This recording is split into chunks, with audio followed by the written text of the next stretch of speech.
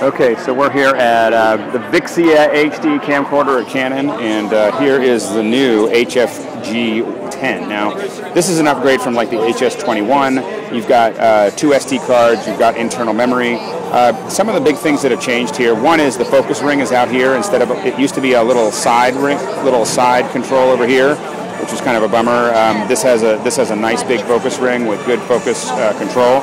Also, it has the same, it has a professional grade uh, uh, chip inside. So it's got this HD CMOS chip, one third inch, um, that some of their pro cameras have, and it is, uh, you're going to get a higher quality image. And so this is really starting to press up against a uh, you know professional quality. I mean, you really compact. You can get very high quality uh, footage out of it. Uh, we have a lot of Canon camcorders, and so I, am already pretty comfortable uh, knowing that these are pretty darn good. Oh, one other thing that's really nifty about this. Let me show this.